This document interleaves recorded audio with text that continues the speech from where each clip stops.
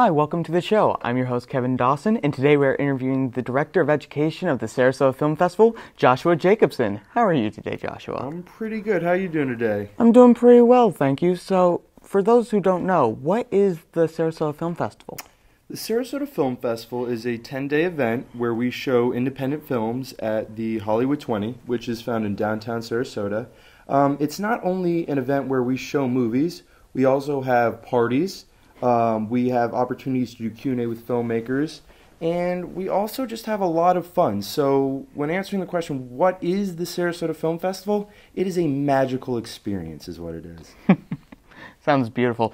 So how did you get involved with this magical party that you're talking about?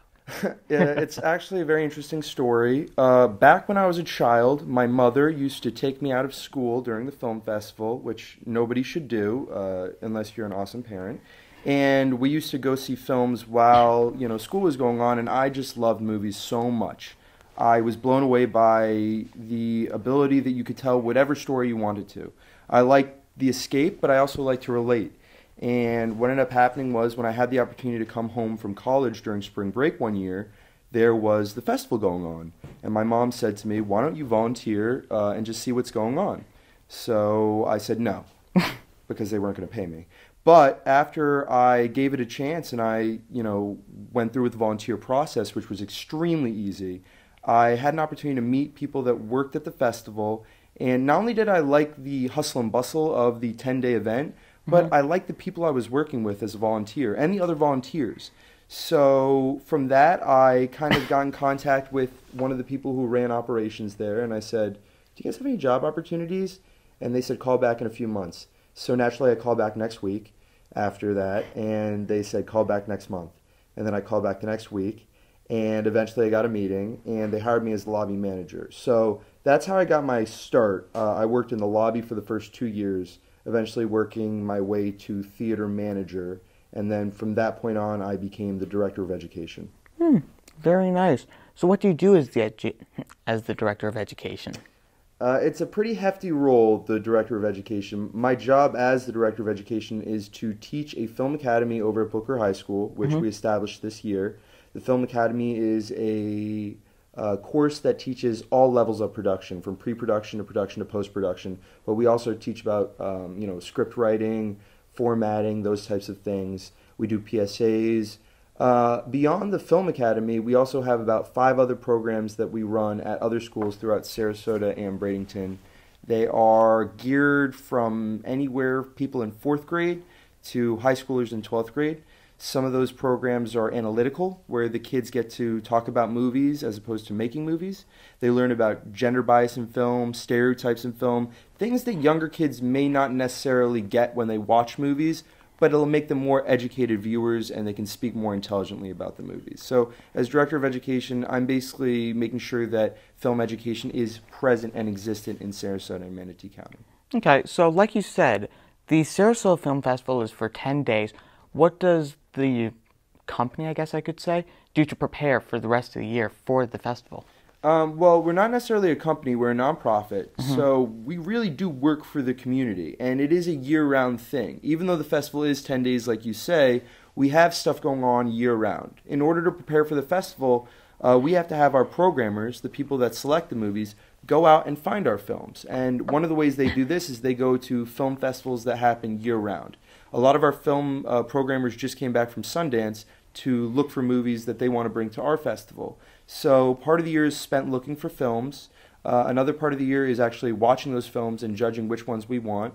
Part of it is setting up education programs that exist and happen during the festival, which we'll talk about more later. and also, we have Moonlight Movies. So we have uh, events happening during the year that get the festival still in people's minds. Mm-hmm. We show movies on the beach. We have parties out in downtown Sarasota um, when you guys are old enough, I, I, hope that you join us for these parties. So, yeah, we're we're a year-round organization and, and a nonprofit. Very nice. So, what does the film festival do to care to students and student films and such? Uh, well, we offer multiple uh, opportunities during the festival for students to showcase their work. So there's Hollywood Nights, which is a red carpet event, April 3rd, 2016 this year, and we showcase the student works from Sarasota and Bradenton. So that's one way we could cater to the community. Um, we also have the Film Academy at Booker, which really gives high schoolers an opportunity to look at film as a career opportunity before they even get to college, to really test it out. And here at your school, you guys have an amazing program that does a very similar thing. Um, we also have all these programs that we offer to schools in Sarasota and Bradenton that you know do production, that do critique, that do screenwriting. So in order to cater to the students, we offer free programs to any school that wants them. And I'm willing to meet with anybody at any time. Hmm. That's not like a threat or anything. I'd like to meet with people. Very nice. So even though you're catering to students very well in these two counties, is the interest in film for students rising? Are lots more kids getting interested in making films, being a part of the filmmaking process and such? Definitely. I definitely think students are getting more involved in the filmmaking process because everybody has the opportunity to make movies these days. We all have cameras on our phones. Uh, we all like to tell stories online, on Facebook, on our walls. We write out these long novels about what's happening in our lives. So everybody's already a filmmaker. All they need is the direction. So the interest is definitely growing among the youth because of not only the availability of the technology, but also the availability to watch the films themselves. We can watch it on our iPads, our iPhones, uh, on the computer. Uh, you know, you can download movies if you'd like. You can buy movies off the internet, off these different services. So, because of the availability of the technology, the services, the increase is uh, tremendous in the youth. And that's why we have such amazing kids producing such amazing quality products. Hmm. And what can students and anyone else do to get involved at the Sarasota Film Festival? That's a very good question. The first thing I would say is visit our website at www.sarasotafilmfestival.com. It will give you any information you need in terms of looking at what we're doing for the festival. If you want to volunteer, we have a volunteer page. You can email our volunteer coordinator, Marlene, at sarasotafilmfestival.com or myself, Joshua, at sarasotafilmfestival.com, and I'll connect you with Marlene. Um, the volunteer program is fantastic because it connects you with other people that are interested in film, and not only that, you get to meet filmmakers.